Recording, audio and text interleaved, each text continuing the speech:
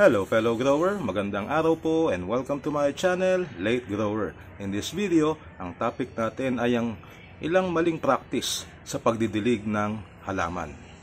Let's get right into it. Unang-una na ay ang paggamit ng tubig na may kahalong chlorine. Ang chlorine po kasi ay isang chemical na inihahalo sa ating tubig para mamatay ang mga uh, mikrobyo, pathogens, bacteria, germs, viruses na matatagpuan sa tubig para maging safe sa ating uh, paggamit. Ngayon, kung ibubuhos natin siya sa lupa bilang pandilig sa halaman, ay uh, ganun din po ang mangyayari. Papatayin din niya yung ibang mga microbes na nasa ating lupa. Pag sa halaman naman natin idinilig, mismo may tendency na masunog ang dahon ng ating halaman lalo na pag matapang yung chlorine. Isa pang senyales na na-overdose sa chlorine ng ating halaman ay pag uh, nakita nyong natutuyo o parang nasusunog ang kanyang dahon. Lalo na pag diniligan ng tubig na may chlorine sa kainitan ng araw. Ngayon, kung ang tubig ninyo ay mayroong chlorine, kagaya ng nanggagaling sa Maynilad, Manila Water, o sa iba pang community water supply, makabubuti po na hayaan natin siyang nasa timbalang out in the open at hayaan nating sumingaw nang at least magdamag. Pinakamaganda po kung mga 24 hours natin na pasisingawin ang chlorine. Pag nakasingaw na siya ay magagamit na natin siya na pandilig sa halaman. Doon sa mga malalaking halaman, lalo na yung matatanda na na puno, hindi natin agad makikita ang epekto ng uh, chlorine sa kanila. Pero sa katagalan, ng paggamit ng tubig na may chlorine ay mapapansin mo rin yan na medyo naninilaw ang uh, dahon or bumabagal ang kanilang uh, paglaki. So ang unang-unang maling practice ay ang paggamit ng tubig na may chlorine lalo na po pag ang halaman natin ay yung mga maliliit lang leafy vegetable sa halimbawa. Second watering mistake ay yung hindi alam ang pangangailangan ng halaman pagdating sa tubig. So halimbawa po dito, yung cactus and succulents, hindi dito kailangan ng laging dinitiligan. Mamamatay sila pagka diniligan kasi nag store naman sila ng tubig sa kanilang uh, dahon or sa kanilang katawan. Dito halimbawa sa akin, kung magdilig ako ng uh, cactus at succulents ay uh, once a week lang at konti lang ang aking idinidilig. Hindi siya yung tipo ng halaman na kailangan kong diligan para umagos ang tubig sa ilalim. Pareho din pagdating sa aloe vera. Hindi rin niya kailangan ng maraming tubig dahil ito nga mayroon na siyang tubig sa kanyang mga dahon.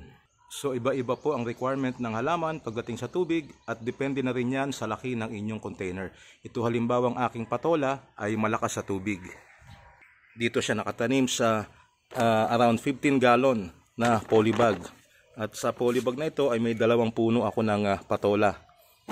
Ito po kung magtubig ako dito, pag panahon ng tag-araw ay uh, umaga at hapon kasi napakarami niyang ugat kaya naman mabilis maubos ang kanyang tubig.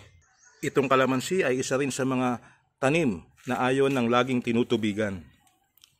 So itong aking kalamansi dito na nakatanim sa container, around uh, 3 to 4 gallon ang uh, capacity ng uh, container na ito hindi ko na rin siya dinidilagan madalas ng uh, tubig. So ngayon lang uh, laging nag-uulan kaya maitim at moist ang kanyang lupa. Pero pag uh, tag-araw, ang dilig ko po sa kanya ay uh, sa paligid lang ng container. Hindi ko binabasa yung uh, gitna para maiwasan na mabulok yung kanyang uh, mga ugat lalo na yung main stem. Pag nalunod sa tubig, ang kalamansi na sobra, nalimbawa, makikita mo yan maglalaglagan pa yung kanyang mga bunga pero kung tubig ulan at maganda naman ang drainage ng kanyang container ay uh, okay lang po kahit lagi siyang nauulanan. So iba-iba din ang requirements ng uh, halaman pagdating sa tubig. Pati na po yung mga herbal, kagaya nitong dill, na kung mapapansin nyo, ayan, tuyo ang kanyang lupa. Hindi ko siya laging dinidiligan. Kung diligan ko man siya ay uh, tama lang para mabasa ang ibabaw ng uh, kanyang lupa. Ang mga solanaceous crops na paborito nating itanim sa ating bakuran kagaya ng sili, talong, kamatis, habang bata pa ay uh, kailangan alagaan sa tubig. Hindi dapat uh, hinahayaang natutuyuan ang kanilang lupa. Pero pagka sila ay uh, namumunga na, dapat medyo alalay na lang siya sa pagtubig. At any rate, ang basehan ko po lagi dito sa pagdidilig ay ang kanyang lupa. So pag ang lupa niya halimbawa yung top 2 inches, pag tinusok mo siya at bumaon hanggang 2 inches ang lalim, napansin mo na hindi na siya malamig, tuyo na siya, doon tinidiligan ko na siya hanggang sa umago sa ilalim ng ah, container ang tubig.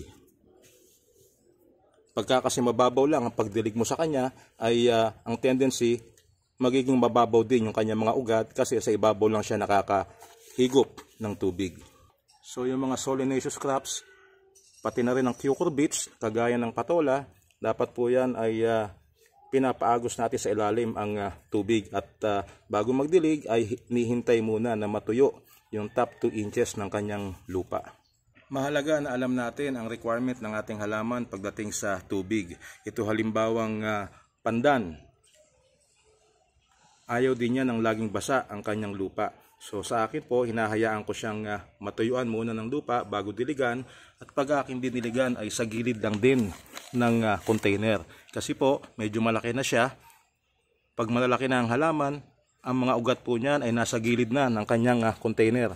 Yun yung mga ugat na siyang sumisipsip ng uh, tubig. So kailangan ang buhos natin ay sa gilid na lang ng container at hindi na sa puno.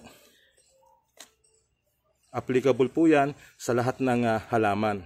Dinidiligan lang natin sila sa puno habang sila ay seedling pa dahil uh, yung ugat nila ay hindi pa malayo mula sa katawan.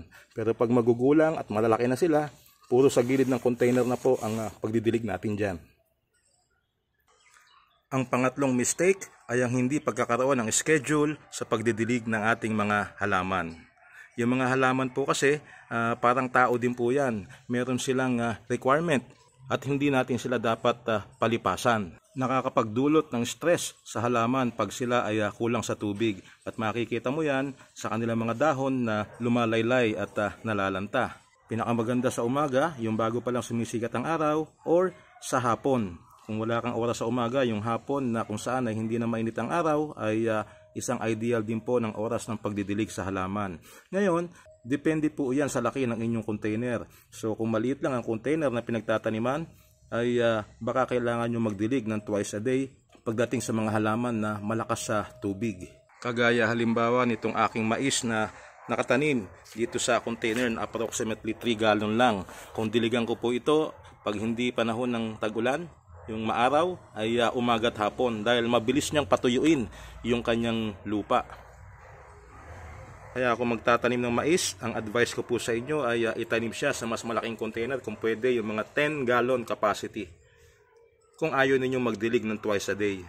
Dito naman sa mga fruit bearing uh, trees na nakatanim sa container, ang ginagawa ko lang dito ay uh, dinitiligan pagka tuyo na ang lupa. Hindi ko rin sila madalas na dinitiligan. Hinihintay ko munang matuyo ang lupa ng gusto, yung top 2 inches. At saka ko lang siya dinidiligan. Pagdilig naman ay mga isang galon ng tubig ang dinidilig ko sa mga gilid ng container. Kung diligan ko sila, itong mga fruit bearing na nakatanim sa container ay once a week lang. Pero ngayong panahon ng tagulan, uh, totally po wala na silang dilig-dilig. Ang isa pang maling paraan ay ang pagdidilig sa ibabaw ng halaman at hindi sa lupa. Karamihan po ng tubig na dinidilig natin overhead ay uh, nag evaporate din lang sa ibabaw ng ating mga dahon at hindi naman niya talaga napapakinabangan. Isa pa, pag sa ibabaw natin siya diniligan, ang hindi lahat ng tubig ay pupunta sa lupa. Kaya maaaring basang-basa na yung kanyang mga dahon pero yung lupa niya ay kulang pa rin sa tubig. Lalo pang makakasama iyon pagka mainit ang araw at siya ay inisprayan natin o diniligan sa ibabaw sa kanyang mga dahon. Ngayon, may mga pagkakataon na ginagawa rin po ang uh, pagdilig sa ibabaw ng halaman, overhead uh, watering. Halimbawa, kung masyado maalikabok ang mga dahon ng halaman para matanggal yung mga alikabok o kaya naman eh, pagka meron kang gustong tanggalin na insekto. Pero other than those two, dapat po ang pagdidilig natin sa halaman ay direkta sa lupa, lalo na pag ang halaman natin ay yung mga namumulaklak. At yan po ang ating video tungkol sa common mistakes in watering plants in container. Maraming salamat po sa panonood and hope to see you in my next videos. Bye-bye!